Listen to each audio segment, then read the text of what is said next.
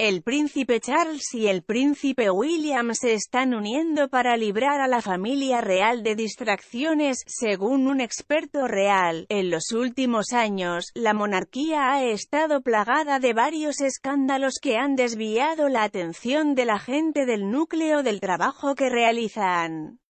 El príncipe Andrew ha sido criticado por su amistad con el pedófilo convicto Jeffrey Epstein y ha empeorado las cosas con su desastrosa entrevista con BBC News Night. Meghan Markle y el príncipe Harry decidieron renunciar como miembros de la realeza senior y mudarse a los Estados Unidos, lo que no tenía precedentes y naturalmente ha provocado mucha discusión. Luego decidieron dar una entrevista reveladora a Oprah Winfrey sobre por qué dejaron a la familia real, y hablaron de la institución y de varios miembros de la familia.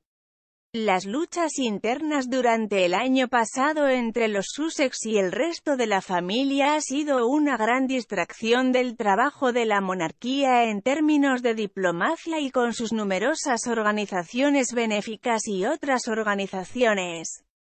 Pod Save the Queen está alojado por Ann Gripper y cuenta con el editor real de Daily Mirror. El señor Myers afirmó que Charles y William son el equipo de estrategia que avanza y están tratando de dar forma a la monarquía deshaciéndose de las distracciones que han sido una nube oscura sobre ellos durante los últimos años. Agregó que ahora están sentando las bases para que cuando el príncipe Carlos se convierta en rey haya una visión clara clara y haya grandes cambios en marcha.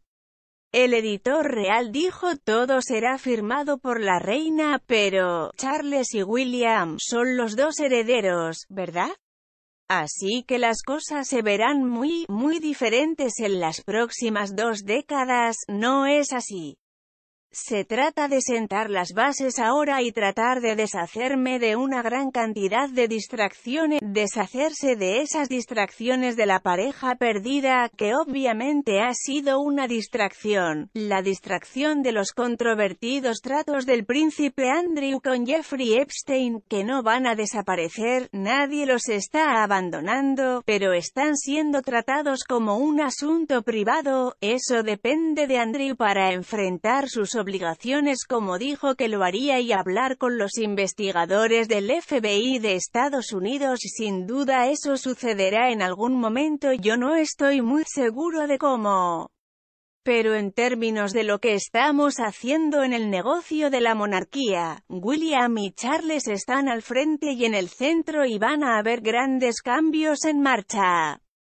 El señor Myers agregó que Charles y William están muy alineados en la dirección de hacia donde debe ir la monarquía y quién debe tener ciertos roles.